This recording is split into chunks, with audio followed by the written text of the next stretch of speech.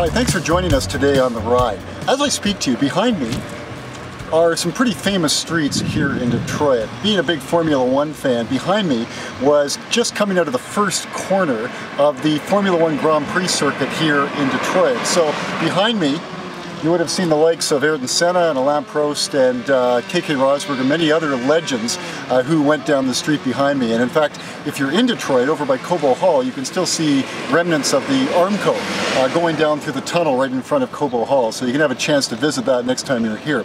But today, I want to talk to you about something which is affecting a lot of the automotive industry right now, and that is, of course, recalls.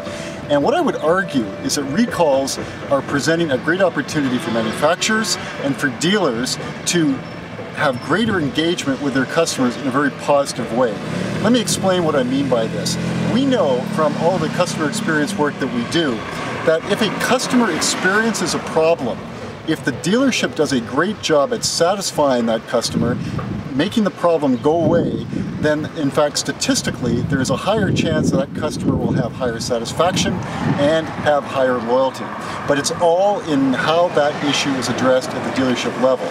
So with that same kind of logic, if a dealership does a great job at a recall situation or a service situation, statistically you have a greater chance of satisfying that customer and, and turning that customer into a customer for life. So if you're a dealership watching this, from a process standpoint, how are those recalls being handled? Are they being handled in a prompt way? Is a loaner card being given? Are you keeping the customer apprised of what is happening on their particular situation and when the vehicle will be ready? These small things, as difficult as they may be to enact, can all have a positive impact on loyalty and a positive impact on satisfaction. So let me know what you think, and thanks for joining us today on The Ride.